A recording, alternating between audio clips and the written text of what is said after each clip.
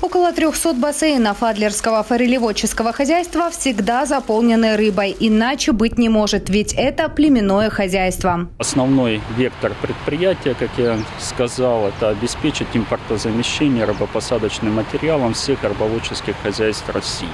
В хозяйстве выращивают пять видов форели. Радужная, янтарная, камлоопс, форель Дональдсона и стальноголовый лосось. Все они нерестятся на протяжении 9 месяцев в году, и только три рыба отдыхает.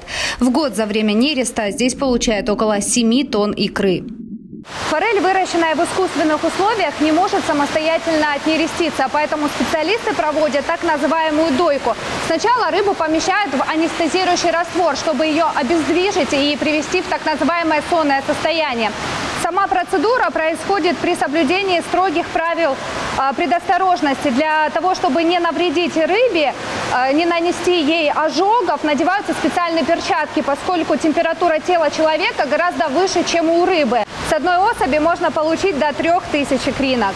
Производственная мощность форелевого хозяйства порядка 40 миллионов живой икры на стадии глазка. Часть пойдет на реализацию, а другая отправится в питомник, где из икринок появляются мальки. На данный момент здесь находится личинка э, желточным мешком. Буквально на этих выходных мы разложили уже эту икру, и уже здесь маленький, скажем так, малек, еще пока не сформировавшийся, пока желточным мешком, но это уже будущая рыбка. За сезон можно получить до 60 миллионов мальков форели. Когда они набирают в весе от 5 до 15 граммов, их отпускают в водоемы, чтобы через пару лет эти рыбы смогли дать потомство. Сейчас на заводе специалисты формируют новую породу рыбы – августин. Она сможет идти на нерест в августе при высоких температурах, что не характерно для обычной форели. Наши старые сотрудники, которые здесь работали, они проводили такие исследования, наработки, э, выбирали особи, э, которые не рестились при высоких температурах. То есть э, формировалась отдельно группа этих особей и велась.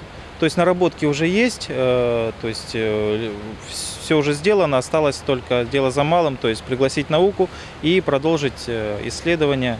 Сейчас селекционеры планируют запатентовать Августина. Параллельно ведется работа и над формированием еще одной группы форели – весенней. Этих рыб планируется выпустить во взрослую жизнь в следующем году.